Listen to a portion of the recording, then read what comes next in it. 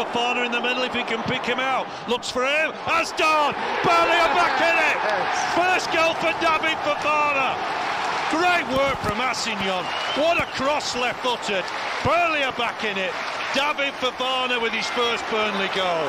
Racing down the left wing, puts a great ball across, and David Fofana there to, to put it in the back of the net. That's brought the crowd alive now. Yeah. You know, and you know, I, know there'll be a recruitment team at the training ground with big smiles on their faces, and it sets us up for a good past 20 minutes of the game. Phil. Nice little assist for the right back down the left wing, I suggest. Great bowling, super cross. Not sure Leno covered himself in glory there, trying to reach it, but it's given Burnley a lifeline. Having been pegged back for so long, Burnley are now back in it.